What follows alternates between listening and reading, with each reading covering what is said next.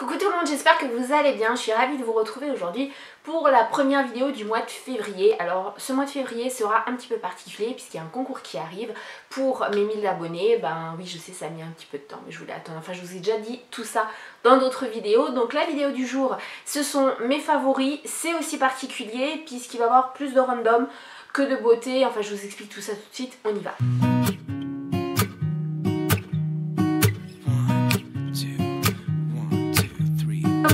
Cette vidéo est un peu particulière puisqu'il va y avoir plus de random que de beauté, de soins, etc. Et pour cause, bah voilà ma feuille de, euh, bah, de favoris. Mes favoris sont là, voilà. Tout ça, ça ne va être que des randoms. Donc on va essayer de faire assez rapide. Il y a de tout. Il y a des musiques, il y a des chaînes, il y a des films, il y a des vidéos, il y a des séries, il y a vraiment de tout. Donc on y va tout de suite. J'ai trois chansons que j'ai mis dans mes favoris euh, ce mois-ci. Donc il y en a deux qui datent pas d'aujourd'hui, qui sont très anciennes. Et il y en a une qui est quand même plutôt récente. Donc les deux qui sont... Euh, qui datent en fait, voilà. Ce sont deux chansons de rock voisine que j'ai pas redécouvert mais que j'ai réécouté et je les ai vraiment beaucoup beaucoup aimées. C'est vraiment mes coups de cœur du mois. Donc la première c'est Avec les yeux et la seconde c'est Darling. C'est vraiment deux chansons qui font écho à pas mal de choses par rapport à mon passé euh, et, c'est pour ça, voilà, c'est pour ça que je les ai mis dans mes favoris. La troisième et dernière chanson c'est Human, alors attention à la prononciation, de Rajen Bonman, voilà j'espère que je l'aurai bien dit, de toute façon vous aurez tous les liens d'absolument tout ce dont je vous parle en barre d'infos, donc vraiment allez-y, c'est une mine d'informations en fait. Donc voilà pour les chansons, et ben on passe à la suite. A trois, bon je vais rapidement passer dessus parce qu'après ça dépend aussi de votre point de vue etc. Euh, il y en a deux de masculin singulier et il y en a une autre euh, qui voilà que j'ai trouvé super intéressante. Donc déjà par rapport à celle de masculin singulier, encore une fois tous les liens en barre d'infos, la première que j'ai beaucoup aimée c'est l'algo c'est ma pute. Alors attention, c'est une... Euh, en fait c'est une chanson voilà qu'il a écrit sur un petit peu le pas le monde de YouTube, mais sur en ce moment les titres, les putaclics, etc. Des paroles qui sont interdites au moins de 10 ans, vraiment, parce qu'il y a un nombre de gros mots, d'insultes, euh, c'est du lourd, mais je trouve qu'il est quand même plutôt dans la réalité, donc c'est pour ça que j'ai voulu le mettre dans, mes favoris, parce que, euh, bah, parce que je trouve qu'il a totalement, total, oui je vais y arriver, totalement raison dans ce qu'il dit. Et la seconde vidéo de Guilhem, donc masculin singulier, que j'ai vraiment beaucoup aimé, c'est euh, comment Autodisciple vous a hacké. Alors euh, je vais passer rapidement sur cette vidéo là, parce que ça peut, voilà, ça, peut créer des tensions, etc. Mais en gros, Autodisciple c'est une chaîne où il y a eu en fait la vidéo merci ou pardon, je ne sais plus. Euh, merci YouTube. Oui, je crois que c'est euh, non, je crois que c'est pardon YouTube, il me semble. En gros, ils ont filmé en caméra cachée, ils ont voulu piéger entre guillemets euh, YouTube, etc. en montrant certaines choses, enfin voilà. Et Guilhem a donné son point de vue. Alors ça a été très controversé puisque, alors forcément par les gens qui avaient euh, publié sur Autodisciple et, tout ça, euh, ce qui est logique. Euh, mais moi je trouve ça intéressant d'avoir en fait deux avis vraiment différents. Alors est-ce qu'ils sont totalement honnêtes? Est-ce qu'ils sont totalement hors influence, etc. Voilà, Guilhem est beaucoup sollicité par Google certes, mais il a donné son point de vue. Jusqu'à présent, il a dit quand même pas mal de choses qui, euh, bah, étaient controversées parce que bah, ça plaisait pas forcément, c'était pas du politiquement correct. Donc moi j'ai beaucoup aimé sa vidéo. Je ne vais pas vous dire si je suis pour ou contre ce que, ce que j'adhère et ce à quoi je n'adhère pas. C'est pas le sujet, mais vraiment, enfin, je trouve sa vidéo plutôt intéressante. La dernière vidéo, c'est une vidéo que j'ai trouvée sur la chaîne de Michael Zouari. Euh, alors c'est pas du tout une chaîne que je suis, je suis tombée par hasard dessus en fait sur cette vidéo. Dans les suggestions, il a créé en fait un film, c'est assez long, je vous avouerai, euh, qui s'appelle Profession YouTubeur. Et en fait, il a suivi plusieurs youtubeurs et youtubeuses dans leur quotidien, mais pas pour... Euh, pas pour pas par rapport en fait à ce qu'on voit d'habitude. Là on se rend compte vraiment qu'il y a quand même pas mal de, pas mal de choses à l'écran. que bah, qu'on ne soupçonne pas forcément et on voit vraiment le boulot qu'il y a et notamment par rapport à un humoriste qui, qui crée tout vraiment de A à Z, qui répète je ne sais combien de temps. Il y a également d'autres profils, moi je les ai vraiment beaucoup mais tous aimés que ce soit la youtubeuse, que ce soit le youtubeur aussi, vraiment enfin c'est un gros coup de cœur. Notamment ce coup de cœur vient en fait d'un youtubeur qui fait partie de ce film qui est Léo Grasset et qui, euh, qui a créé une chaîne que j'aime vraiment beaucoup mais je vous en parle tout de suite. Pour les chaînes, voilà, bah, il n'y en aura qu'une, donc celle de Léo Grasset, qui est la chaîne Dirty Biologie ou Biologie, voilà, désolé encore pour l'accent.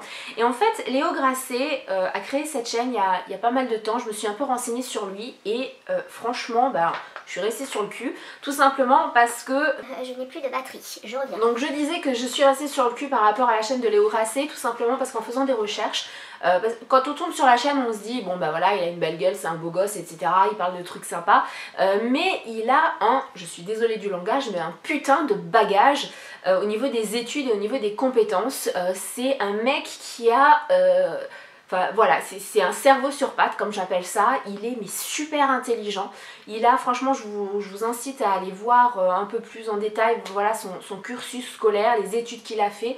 Parce que vraiment, c'est... Enfin, moi, je suis admirative. Et donc, la chaîne, euh, eh bien, c'est simple. Il va vous parler de choses très techniques très, euh, très chiantes, très compliquées à comprendre habituellement au niveau de la biologie, au niveau de l'être humain, au niveau de la médecine, au niveau de plein de choses. Et eh bien il vous l'explique de façon super simple. Et vraiment enfin je trouve ça juste génial parce que n'importe qui peut comprendre les, choses si compliquées habituellement parce qu'il l'explique d'une façon où on est obligé de comprendre. Et puis ces vidéos sont euh, super euh, super réactives. Elles bougent tout le temps. Moi j'aime vraiment beaucoup beaucoup ça Durant le mois de janvier, on a vraiment regardé beaucoup beaucoup de films, euh, de séries, bon les séries plus pour moi, mais les films beaucoup avec le chéri, tout simplement parce qu'il fait froid, parce que le week-end on n'a pas envie de sortir et que du coup, ben, le vendredi, euh, on, fait charger en streaming tous les films qu'on aimerait voir et puis on se tape ben, tout le week-end des films. Voilà. Donc il y en a un que moi j'ai regardé toute seule. Euh, je suis aussi tombée par hasard dessus tout simplement par rapport à la hum, bande-annonce, en fait, la musique de la bande-annonce où en faisant des recherches je suis tombée dessus et je regrette absolument pas. C'est le film Rencontre à Wicker Park. Euh, c'est vraiment une, un film, mais euh, bon, voilà, c'est une histoire d'amour. Mais euh, tout au long du film, on se demande, mais, mais pourquoi? Pourquoi il n'y arrive pas? Et je trouve ça juste génial. Il y a de la manipulation d'une certaine personne, etc. Donc je vous invite vraiment à aller le voir. Il n'est pas chichi pompon. Il est, moi je le trouve vraiment super ce film. Et l'acteur, juste top. Autre film qu'on a regardé le week-end dernier, c'est War Dog. On en a beaucoup entendu parler sur les réseaux, etc. Donc en gros, l'histoire, je vais vous résumer ça très simplement. C'est euh, deux gars en fait qui sont un peu en, rate de thunes et qui découvrent euh, euh, qu'ils peuvent en fait faire l'intermédiaire entre les États les, les États-Unis, euh, les pays, etc. Et les revendeurs d'armes, euh, et de façon tout à fait légale, et de se faire un max de blé, et euh, vraiment, enfin, juste top. Alors nous, on ne l'a trouvé qu'en sous quand oui, je vais y arriver.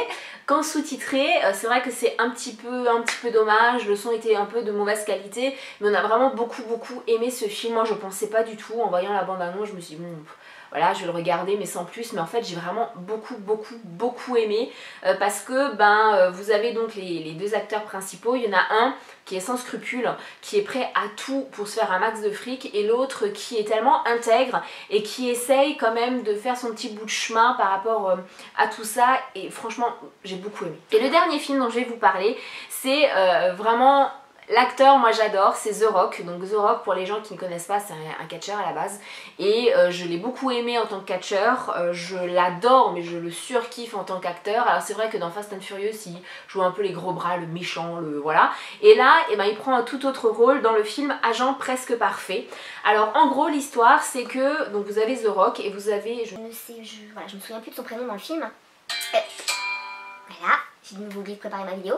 Et donc ces deux acteurs-là, en fait, se retrouvent après des années, euh, par hasard en fait, via Facebook. Ils étaient au collège et au lycée ensemble. Et en fait, ce qui s'est passé, c'est que The Rock au lycée était en surpoids. On s'est vraiment moqué de lui. Le film commence comme ça, où on voit vraiment le dernier match en fait au lycée où, euh, où il a une humiliation. Euh, enfin, c'est juste horrible. Moi, ça m'a pris au cœur direct. Et donc des années après, eh bien, il se retrouve et là, il n'a plus rien à voir puisque ce n'est plus celui-là dont tout le monde se moque, mais c'est The Rock.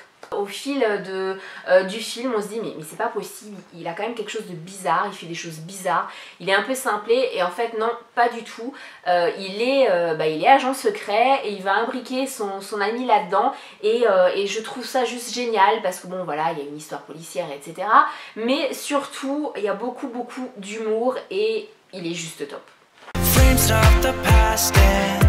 Alors comme je vous l'ai dit, j'ai regardé vraiment beaucoup beaucoup de séries, euh, si, enfin voilà, hein, parce que par le froid, euh, voilà, j'ai eu un petit souci de santé qui a fait que euh, j'ai été immobilisée quasiment une semaine, donc je me suis tapé des séries, des séries et des séries, et j'en ai profité pour me laisser tenter par deux séries que j'avais déjà dans mon application depuis pas mal de temps. Je vous invite à aller voir ma vidéo, je vous mettrai de toute façon le lien dans le petit, dans le coin, vers la vidéo où je vous parle de mes séries favoris, etc., l'application et tout ça. J'ai laissé de côté parce que je me disais bon ben voilà on verra, je, je suis intriguée par ces séries mais pas plus. Et mais mon dieu, mais ce sont des séries, je suis juste dégoûtée, il n'y a qu'une saison pour l'instant, mais je suis dégoûtée parce que bah, elle déchire. La première, c'est la série Van Helsing, j'adore, j'adore, j'adore, j'adore, j'adore, mais j'adore. Donc en fait l'actrice retrouve un petit peu euh, dans l'histoire comme ça malgré elle, elle se réveille après 6 ans de pseudo-coma et, euh, eh bien elle se rend compte en fait qu'elle est immunisée par rapport à tous les revenants, tous les morts vivants, tous les zombies, enfin voilà vous les appelez comme vous voulez. Il y a des revenants, il y a euh, des vampires, il y a vraiment, enfin moi je trouve ça plutôt pas mal. Là-dedans, elle, sait même pas à la base qui elle est et ça fait 6 ans que... 6 ans ou 3 ans, je sais même plus, je suis en train de dire 6 ans, non je crois 3 ans, bref on s'en fout. Et il y a un, un soldat qui, euh, eh bien, qui est resté auprès d'elle et qui, euh, bah, qui, a assuré sa protection jusqu'à ce qu'elle se réveille. Et, et c'est juste génial. Enfin voilà, c'est vraiment, vraiment top. Je trouve que franchement les revenants sont super mal faits dans le sens où c'est super dégueu. Vraiment, je, vous la conseille à 300%.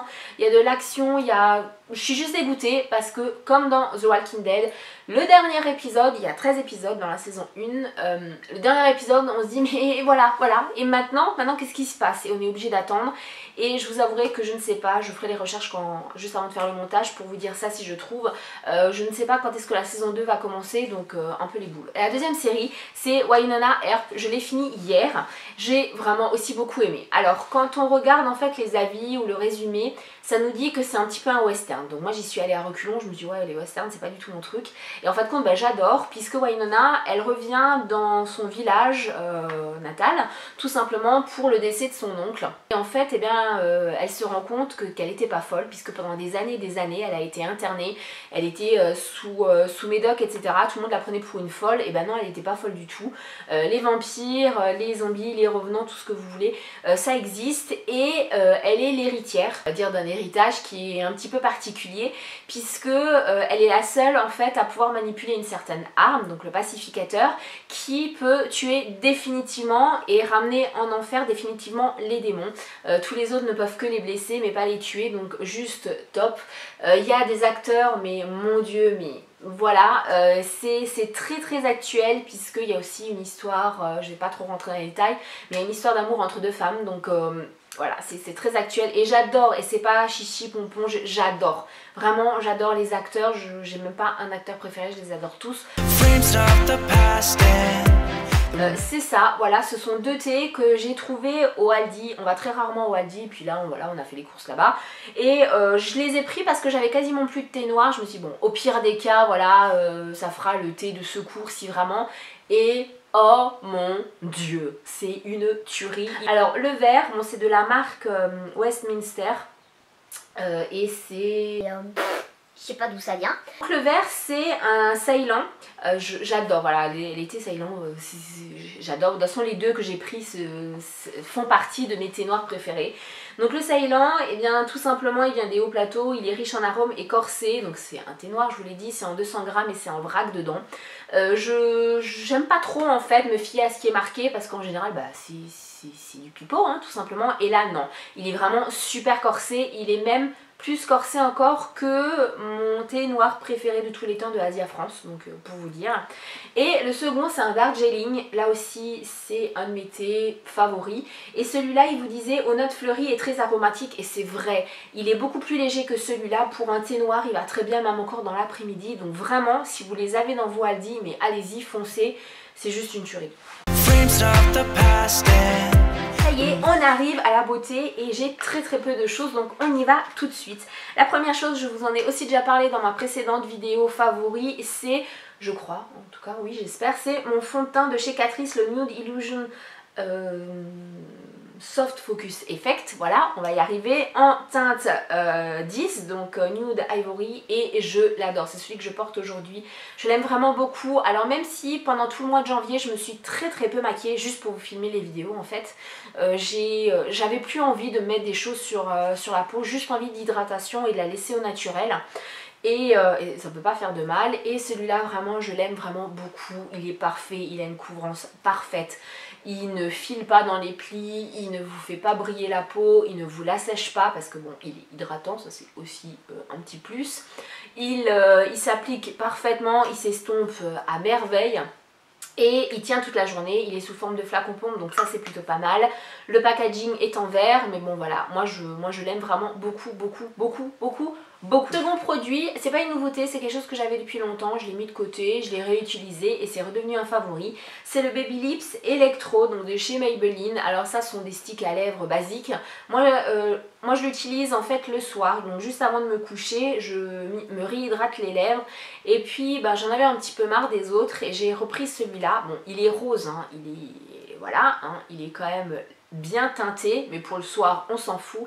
Et il est juste top. Il est, euh, voilà, il m'hydrate parfaitement les lèvres. J'ai plus les lèvres aussi sèches, donc vraiment, il coûte pas cher.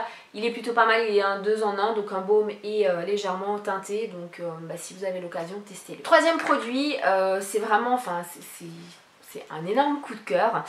c'est ça, voilà, c'est un rouge à lèvres mat de la marque Dose of Color, voilà, qui, est arrivé dans un petit flacon comme ça. Alors celui-là, c'est la teinte, c'est une teinte qui, qui peps pas mal, Berry Me, donc c'est la seconde.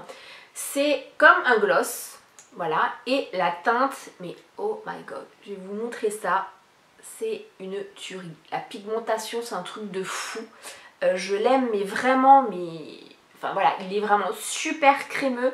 Il tient, mais un truc de malade. Et alors attention, parce que ça c'est quand même euh, très exceptionnel sur ma chaîne. Je ne l'ai pas pris pour ça, hein. je l'ai vu une fois que c'est arrivé. Il est cruelty free, euh, gluten free, paraben free et vegan. Voilà, il n'est pas bio, mais euh, c'est quand même trop de la balle. Alors, petit bémol, il assèche quand même pas mal les lèvres. Donc c'est vrai qu'il faut vraiment mettre la race de baume à lèvres avant, euh, avant de le mettre. Mais il est juste top. Bon là j'ai mis sur la main, je sais pas comment je vais l'enlever parce que il tient, il vachement bien. Il est vraiment génial, je vous le conseille. Et il y a une petite surprise qui arrive d'ici quelques temps par rapport à cette marque. Et le dernier produit, c'est un produit, je l'ai testé voilà, pour faire comme tout le monde. Parce que ça fait, enfin comme tout le monde, ça faisait 6 mois qu'elle me faisait de l'œil. Et je me suis dit bon ben voilà, je vais tester. Je l'ai eu pour pas cher du tout puisque elle m'est revenue à 2 euros au lieu de 39. Et euh, la poudre de luxe euh, Banana, donc la Luxury Powder de la marque Benai ou Benny, je sais pas comment on dit. Voilà, c'est une poudre comme ça. Alors moi je l'ai transférée dans un, ancien... Euh, poudrier comme ça parce que c'est plus facile en fait. Là c'est quand même plutôt petit pour, pour récupérer de la poudre. Alors cette poudre là, j'ai regardé sur internet et j'ai regardé sur internet une fois que je l'avais reçue. Apparemment c'est la poudre de Kardashian. Euh, c'est une poudre qui est censée vous faire totalement disparaître euh, les cernes, vous euh, lisser la peau, un truc de fou, vous donner de l'éclat, etc. au visage. Il y a pas mal de blogueuses qui en ont parlé depuis pas mal de temps. J'ai aussi vu que Sananas en avait parlé. Qu'est-ce que j'en pense? Alors, je suis totalement mitigée. Je l'ai aujourd'hui, je l'ai à ce niveau-là. Voilà, ici. Euh, je suis totalement mitigée dans le sens où c'est un énorme coup de cœur et puis ben je sais pas trop. Alors c'est un énorme coup de cœur parce que oui, enfin je pense pas que vous voyez que j'ai deux valises sous les yeux. Euh, c'est vraiment, ça donne de la luminosité, un truc de fou, ça s'applique, ça s'estompe, ça se floute, ça se... C'est juste parfait. J'en applique aussi en arcade sourcière, c'est juste euh, topissime. Le petit bémol, c'est que quand on regarde de près, ça fait quand même vachement l'effet poudré, plâtré. Voilà, je, je sais pas comment vous expliquer ça, mais moi ça me dérange un petit peu. J'aime vraiment le fini totalement naturel. Bon, après ça peut pas absolument tout cacher et puis avoir un effet naturel. Hein. Faut, aussi, enfin voilà, faut faire des compromis. Donc je sais pas, c'est pour ça que c'est un énorme coup de cœur et en même temps je suis mitigée parce que pour l'effet naturel on repassera mais sinon ça fait super bien son boulot. La vidéo aura été super longue, ça changera des dernières vidéos qui étaient plutôt courtes et euh, voilà, là c'est, je ferai très peu de montage. Euh, jusqu'à la prochaine vidéo, je vous fais plein, plein, plein de bisous. Si vous n'êtes pas encore allé voir mon live, allez-y parce qu'il y a plein d'infos sur euh, voilà, les, mois qui vont arriver, sur, sur des choses qui vont peut-être changer. Encore une fois, tous les liens sont en barre d'infos. Je vous fais plein, plein de bisous et puis je vous dis à la vidéo prochaine. Je vous aime.